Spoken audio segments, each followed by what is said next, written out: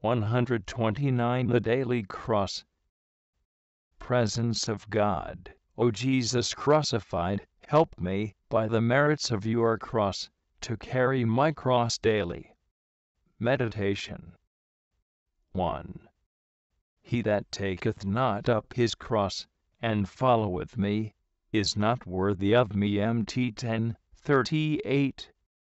By these words, the Divine Master expressly declares that one of the indispensable conditions for being his disciple is to carry the cross. The word cross, however, should not make us think only of special sufferings, which, while not excluded, are not generally our portion. First of all, we must think of those common daily disagreeable things which are part of every one's life, and which we must try to accept as so many means to progress and spiritual fruitfulness.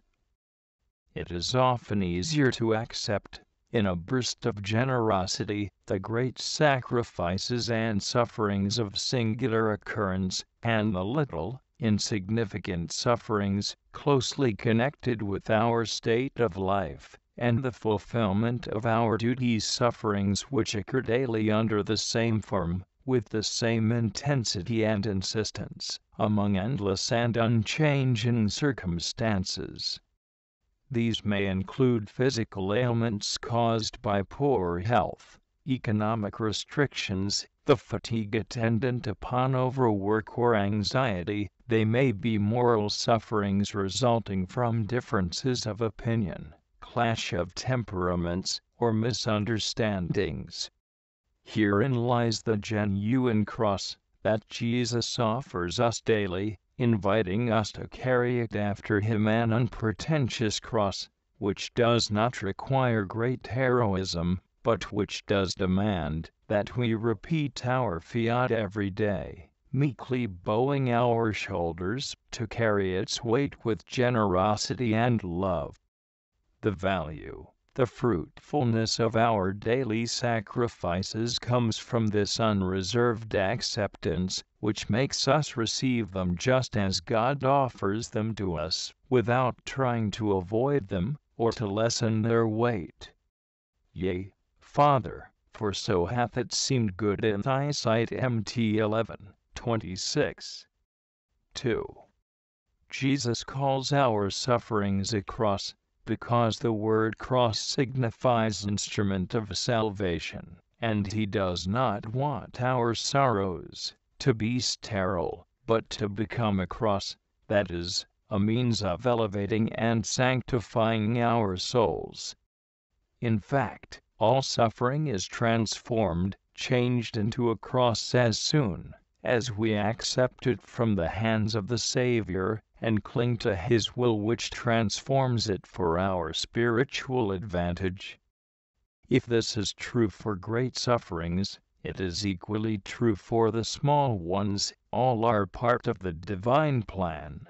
All, even the tiniest, have been predisposed by God from all eternity for our sanctification. Therefore, let us accept them with calmness, and not allow ourselves to be submerged by things which are unpleasant, let us leave them where they belong, in the place they really occupy in the divine plan, that is, among the instruments by means of which we can attain our ideal of sanctity and union with God. If these annoyances are an evil, because they make us suffer, they are also a good, because they give us an opportunity of practicing virtue, they purify us, and bring us near to the Lord. However, to understand the value of the cross is not equivalent to bearing it, we need fortitude as well. If we let ourselves be guided by Jesus, He will certainly give it to us and will support us in our daily struggles and sufferings, leading us by the path He Himself has chosen, and to the degree of sanctity He has determined for each one of us. We must have an immense confidence, advance with our eyes closed, and forget ourselves completely, we must accept the cross which our Lord offers us and carry it with love. If, with the help of grace, we succeed in sanctifying all our daily sufferings, great and small, without losing our serenity and confidence, we shall become saints.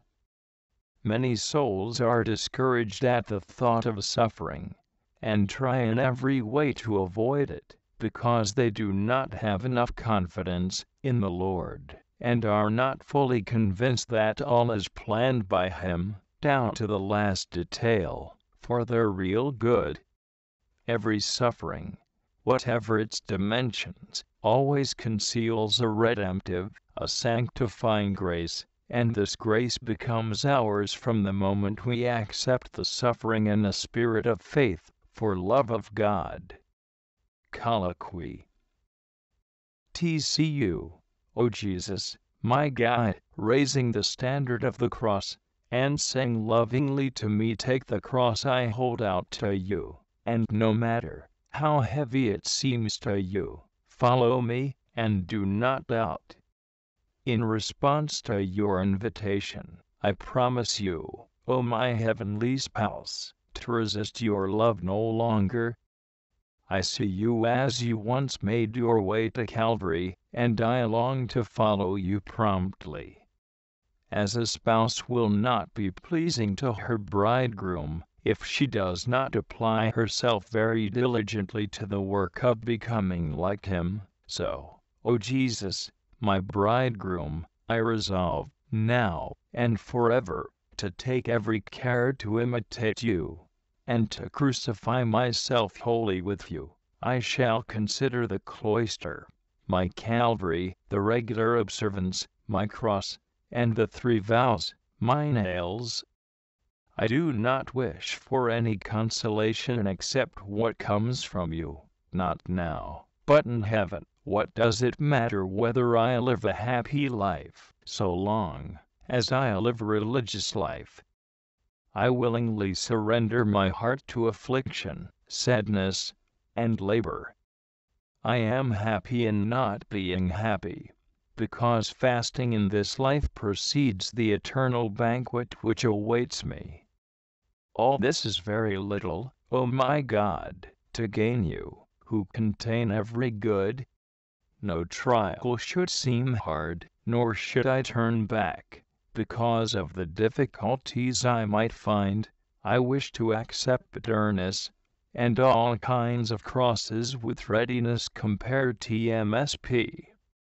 O Lord, is there, among all your works, one which would not be directed toward the greatest good of the soul, whom you consider as yours, since she put herself at your service, to follow you everywhere, even to the death of the cross, resolved to help you bear your burden, and never to leave you alone. I shall trust in your goodness.